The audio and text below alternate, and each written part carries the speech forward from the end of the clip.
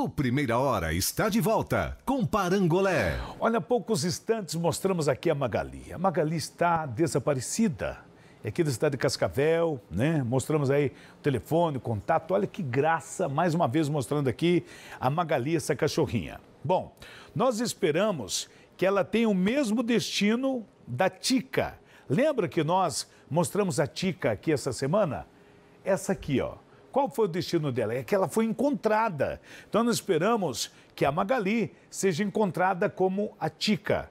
Só que tem um detalhe aqui na localização da Tica. Ela foi encontrada, mas com a perninha quebrada e está hospitalizada, está no hospital veterinário aqui da cidade de Cascavel. Que dozinho, né? Aconteceu alguma coisa. Então, pode avisar pelo telefone 459-9973, né? É, é, é, aquele mesmo telefone lá que a gente estava falando, tá? É aquele lá. Então você pode ligar para 999734468 para dar informações aí aos proprietários da Magali, tá? Bom, agora vamos falar de esporte.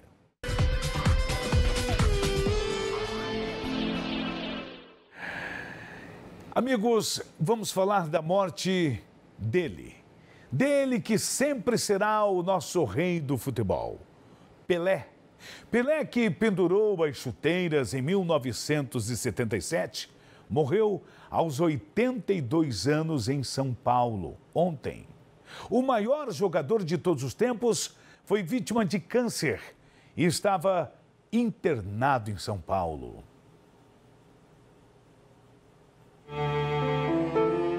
Menino que virou rei aos 17 anos nunca perdeu a majestade. Edson Arantes do Nascimento era mineiro de Três Corações. Em outubro de 1940, o mundo ganhou o gênio com a bola nos pés.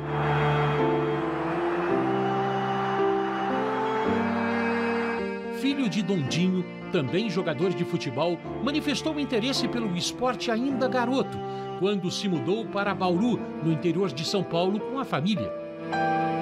Em 1956, foi jogar no Santos. A partir daí, começou a virar mito.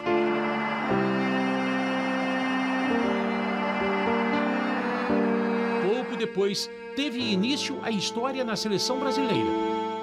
Seleção que representou como ninguém. Olha aí, Pelé, agora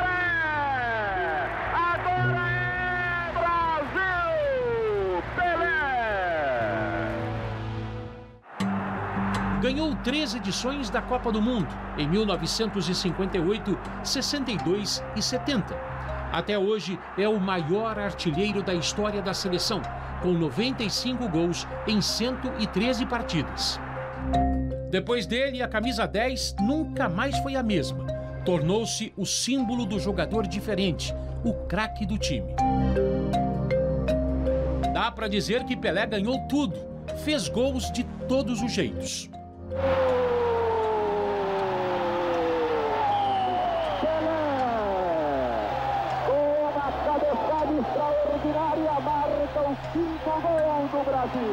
Imortalizou até os lances em que a bola não entrou.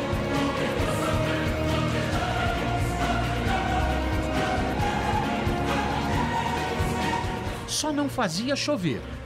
I look forward to a visit to London this week from the incomparable Pelé. Fez uma guerra parar na África.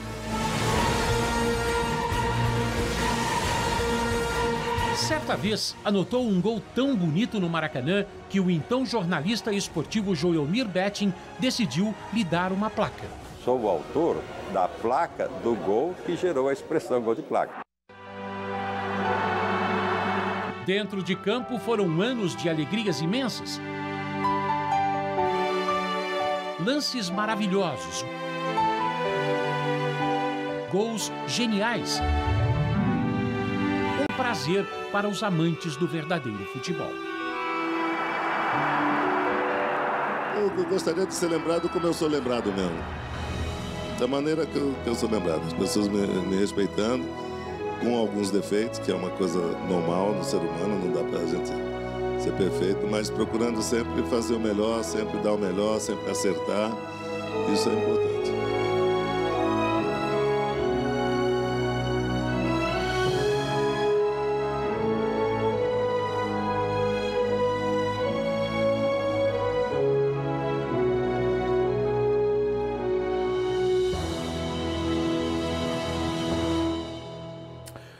Incomparável. Edson Arantes do Nascimento Pelé. Não dá para comparar com Maradona. Maradona era um talentoso jogador de futebol da Argentina, mas nem, nem de perto, nem de longe, nada se compara ao futebol arte do Rei Pelé, o nosso Rei Pelé. É Rei Pelé que militou na política, foi ministro do esporte. Ele fez filme, sim, participou em filme, rodado pelo Brasil e pelo mundo. Pelé das crianças, que fez inclusive uma canção, não é? é para as crianças. Evidentemente que se tratava ali é, de um, uma campanha publicitária, uh, uma época, já não me recordo aí em que tempo que foi isso, mas ele fez, cantou também, tá? Ele sempre foi um, um empresário homenageado, reconhecido, o homem da bola do futebol e que agora sai de cena para sempre, mas deixa o seu legado, deixa aí plantado nos nossos corações a arte do futebol. O Curitiba inaugurou nesta semana um mural que homenageia grandes ídolos que marcaram o nome na história centenária do clube. Treze rostos foram escolhidos pelo Coxa para ficarem eternizados no Couto Pereira. Ao ver o seu rosto no mural, Cláudio Marques, que vestiu a camisa do Curitiba em 295 partidas oficiais, se emociona ao relembrar algumas histórias. Estou muito honrado de estar ao lado de tantos craques que fizeram a história do clube, né? Se o clube é o que é hoje, é em função dos atletas que conquistaram tantas coisas pelo clube. Dinheiro, salário, premiação, tudo isso ficava em segundo plano, sabe? Porque a gente tinha um amor em defender as cores, as cores desse clube, que era sensacional. A parede, ao lado da central de sócios do Couto Pereira, estampa ainda nomes que fizeram história no clube, como Jairo, Hermes, Fedato, Nilo, Capitão Hidalgo, Tostão, Alex, Tião Abatiá, Duílio, Aladim, Enio de Andrade e Evangelino da Costa Neves. A arte foi feita pelo curitibano João Utopia, que demorou aproximadamente três meses tudo pronto. Na parte criativa, eu sou bem grato ao clube que eles deram bastante liberdade para mim, né? Porque é bem comum contratarem um grafiteiro e não querer um grafite, né? Tentar engessar. Mas ali eles falaram, oh, João, a gente tem a ideia de homenagear os, os jogadores que fizeram história no clube e é isso. Top, top a missão. Passaram um banco de imagem com várias referências, né? E eu fui escolhendo uma que equilibrasse todas e que casasse um, eu tinha que respeitar os jogadores que estavam ao lado também, né? Não podia pegar uma, uma, uma, imagem de destaque de um, de um jogador e colocar outra que talvez não estava tão legal. Então foi um equilíbrio ali, cara. O mural já é considerado um ponto atrativo daqueles que visitam o estádio. Mesmo próximo dos ídolos do passado, Eli se emociona ao ficar ao lado de quem tanto deu alegria. Né, marcou o Pelé, não deixou fazer gol ainda. Cara, é um privilégio. Além de um grande atleta, é uma pessoa extraordinária e é um prazer muito grande ter a oportunidade de conviver com uma pessoa né, que fez essa, essa história dentro do clube, faz um trabalho excelente ainda ali dentro e é uma pessoa excepcional. Muito bem, começamos aqui falando de esporte do Pelé e terminamos falando do Pelé no assunto de esporte, tá? Vamos agora trazer para você as super ofertas da Rede Mânica Móveis e Eletro na tela da economia. Libera aí! Mega Saldão de Natal Rede Mânica. É para fechar o ano com chave de ouro. Tem ventilador 40 centímetros por 17,90 mensais. Climatizador de ar por 35,90 mensais. Climatizador de ar móvel 20 litros por 84,90 mensais. Entrega e montagem grátis. O maior desconto à vista. Se você não tem cartão, parcele as suas compras em até 24 vezes no Carnezinho Rede Mânica. Saldão de Natal Rede Mânica. Corra e aproveite. Vem pra cá. Lembre-se, saudão de Natal Redimânica, vem pra cá! Vamos nesse momento com a previsão do tempo.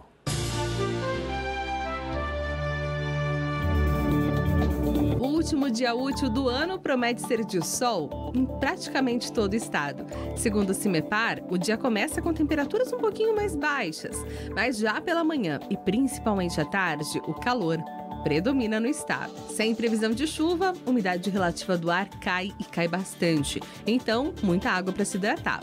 Segundo o CIMEPAR, a chuva só volta ao Paraná no comecinho da semana que vem, mais especificamente na segunda-feira. O domingo ainda promete ser de tempo firme, assim como amanhã, sábado, em praticamente todo o estado. Obrigado, Raquel. E agora eu falo de temperatura. Cascavel, mínima 17, máxima de 28 graus. Sexta-feira ensolarada. Foz do Iguaçu, a última sexta-feira do ano ensolarada, com mínima de 22 e máxima de 30.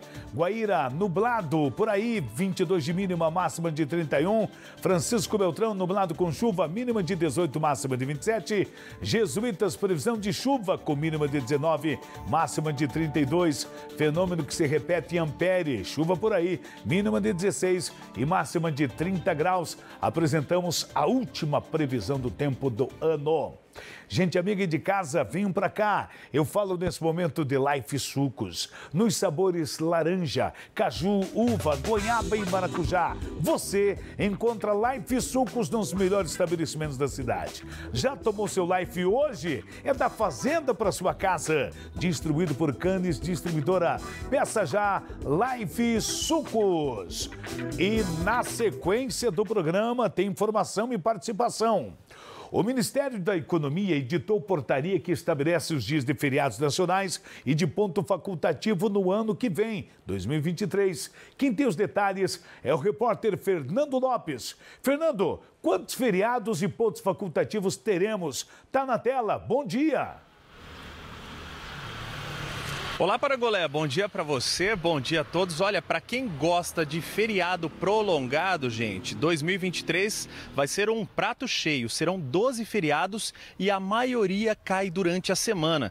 A gente preparou para vocês duas telas para vocês acompanharem com a gente quais serão esses feriados e em quais dias eles caem. Começando, né, o primeiro, logicamente, no próximo domingo, com fraternização universal do primeiro dia do ano. Na sequência, em fevereiro, teremos ponto facultativo dos dias de carnaval, 20, 21 e 22 de fevereiro, né? Na quarta-feira o ponto facultativo vai até às 14 horas. Março não tem nenhum feriado. Em abril, dia 7 é Paixão de Cristo, vai cair numa sexta-feira. No dia 21 de abril, também em abril, tem o feriado nacional de Tiradentes, que também cai na sexta-feira. No dia 1 de maio, Dia do Trabalhador, cai na segunda-feira em 2023. Agora na próxima tela a gente acompanha esse feriado começando em junho, dia 8 de junho, dia de Corpus Christi. Esse feriado vai cair numa quinta-feira. Julho e agosto, esses dois meses não tem nenhum feriado. Em setembro tem o dia 7, que é a independência do Brasil, também cai numa quinta-feira. Dia 12 de outubro, Dia das Crianças, Dia de Nossa Senhora, outra quinta-feira. Dia 28 de outubro é dia do servidor público, ponto facultativo, vai cair no sábado no ano que vem. E dia 2 de novembro, finados, outra quinta-feira de feriado nacional. Aqui para Cascavel, no aniversário da cidade, é comemorado no dia 14 de novembro. Em 2023, essa data vai cair numa terça-feira. E a gente lembra que é seguida aí essa data do dia 15 de novembro, proclamação da República, ou seja, pode ser aí o feriado mais prolongado de 2023. Quem emendar a segunda-feira, não trabalhar, vai pegar uma folga de sábado até quarta, ali no, no aniversário de Cascavel. E finalizamos o ano que vem, né, com o feriado de Natal, dia 25 de dezembro, que vai cair numa segunda-feira. Então, são vários feriados e a maioria deles durante a semana aí para quem quiser né, curtir uma folguinha. Agora, Parangolé, tem feriado aí, tem dia especial que não está nessa lista, mas que, na minha opinião, deveria ser feriado nacional também. Dia 2 de outubro, aniversário de um apresentador bem gente boa, que, na minha opinião, poderia ser uma folga para todo mundo. E dia 31 de maio é aniversário desse cinegrafista que está comigo aqui, o Flávio Frison, mais conhecido que nota de 10 reais. Também acho que deveria ser feriado nacional, mas aí só uma brincadeira para vocês. Aproveitando a última participação do ano, um feliz ano novo para todo mundo, gente. Obrigado, Fernando, muito criativo. Dá um abraço no Flávio, já que estamos falando de feriado. Tudo bem, então? Primeiro de abril, nós poderíamos também transformar em feriado, porque é o aniversário da apresentação aqui do programa Primeira Hora. Bom final de semana, vamos lá, até segunda, Fernandão. Se liga aí, meu amigo, na promoção de verão das óticas Popular. Estamos na rua Almirante Barroso, esquina com a 7 de setembro, no centro da cidade de Toledo. Este é o endereço da Óticas Popular. Veja que interessante. Na compra do seu óculos completo, ou seja, armação mais lente, o seu óculos de sol está garantido. As óticas Popular possuem ambientes modernos e variedades em marcas e modelos de armações, lentes e óculos de sol. Conta com laboratório próprio, qualidade e rapidez na entrega. Seus óculos novos estão aqui nas óticas Popular. E não esqueça de levar para sua casa o calendário 2023. Aqui, as condições de pagamento são flexíveis. Você pode comprar no cartão ou no boleto em até 10 vezes. E se for à vista, tem descontos especiais. Não esqueça, Óticas Popular. Em Toledo, bem no centro, na esquina do Banco do Brasil. Óticas Popular, a ótica da família, a ótica do Parangolé, desejando a todos um feliz e abençoado 2023.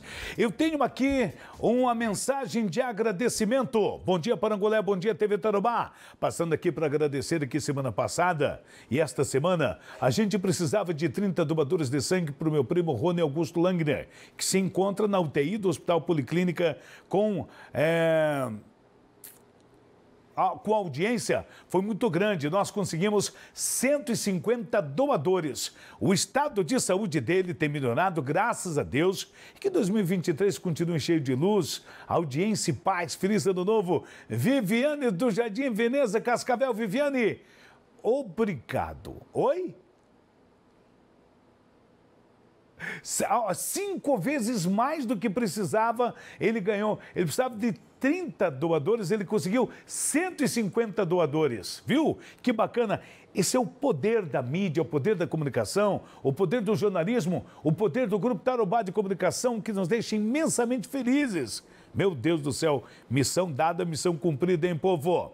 E agora eu quero falar da mandioca mais gostosa do Brasil. É a mandioca descascada Santa Terezinha. Essa é da nossa região. Você que é dono de estabelecimento comercial e ainda não tem, ligue para o 459-9934-6545 e seja um revendedor na sua casa, no seu estabelecimento. Mandioca descascada Santa Terezinha não pode faltar. Tá bom assim? Bom, nós vamos para o intervalo e voltamos já já com você.